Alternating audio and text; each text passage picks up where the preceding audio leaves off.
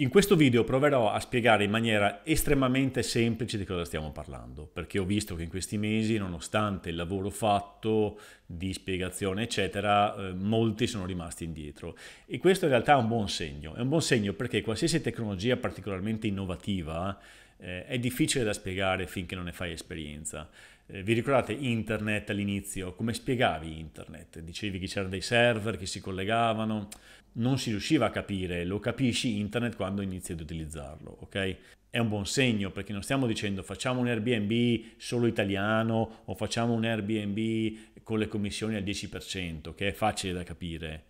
Stiamo dicendo facciamo una piattaforma decentralizzata, cioè una piattaforma come Booking, come Airbnb, eh, che però non ha un centro, è distribuita, è in mano agli utenti agli host e ai guest. Non sto neanche a spiegarvi a livello tecnico come sia possibile. Fidatevi, non vi siete fidati di internet che un giorno avremmo potuto parlare online eh, via video, vi siete fidati, ha funzionato non vi interessa la tecnologia che c'è dietro, giusto? Facciamo così anche con la blockchain. Non importa la tecnologia dietro, vi dico solo ciò che è possibile. Sarà possibile un organismo, un ecosistema che funziona tanto bene quanto le OTA attuali, solo che non ha dietro una corporazione che ha investito miliardi e che adesso deve estrarre questi miliardi per rientrare dell'investimento e per eh, guadagnare. Ora, qual è il motivo per il quale è importante muoversi in questa direzione?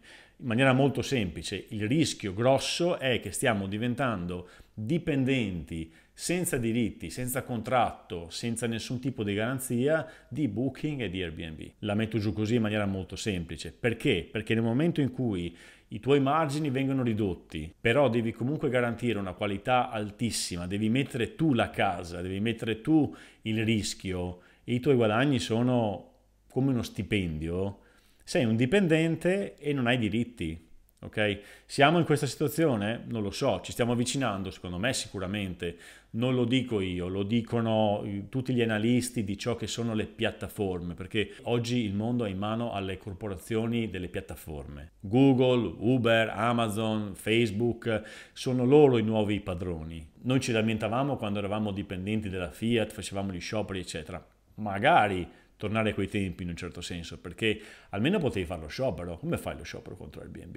E queste corporazioni sono in grado di eh, calcolare esattamente fino a che punto tirare la corda prima che si spezzi, per cui non ti fanno saltare, non ti fanno uscire da Booking, da Airbnb, ci resti dentro ma a malapena, ci resti con l'acqua alla gola. Ora, al di là di questa visione apocalittica che può realizzarsi o meno, c'è comunque la possibilità di dire, vabbè, per lo stesso lavoro guadagno un 10% in più, che spesso vuol dire comunque avere un margine molto più alto rispetto ad adesso, non è solo un 10% in più. Se a te di una prenotazione, per esempio, resta il 30% e riesci ad avere un 10% in più, è un bel salto in avanti, ti dà parecchio spazio Oltre a questo possiamo cominciare a pensare di eh, contrastare questa corsa al ribasso sui prezzi che probabilmente ci ha fatto più male delle commissioni stesse, che è stata chiaramente spinta da Airbnb. È stata chiaramente una mossa per contrastare Booking e fare la guerra sui prezzi per acquisire più clienti sulle nostre spalle. E poi c'è l'altra enorme opportunità di guadagno che faccio fatica a eh,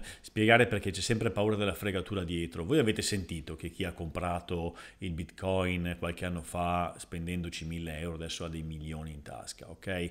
Eh, questo è stato semplicemente qualcuno che ha creduto in una piattaforma quando non ci credeva nessuno, ha fatto un piccolo investimento e si è arricchito. Una cosa simile si sta realizzando in tanti altri progetti simili al bitcoin. Nella fase veramente iniziale di questi progetti non non è nemmeno necessario comprarli, questi token, quindi queste monete, queste criptovalute, si può collaborare ed è questo che voglio proporre. Voglio che eh, collaboriate al nostro progetto, che diventi un progetto anche vostro, in cambio di questi token che potranno valere zero, ma che quando andranno sul mercato avranno un valore in euro che potrete poi vendere. C'è quindi la possibilità di entrare in questo progetto adesso, aiutarci a diventare grandi, ma aiutare chi? Non aiutare una ditta, aiutare noi, noi network a diventare grandi fare un progetto interessante, migliore degli altri, andare sul mercato e questi token acquisiranno un valore reale in euro. Lavoro, collaborazione, che può voler dire semplicemente condividere i post, eh,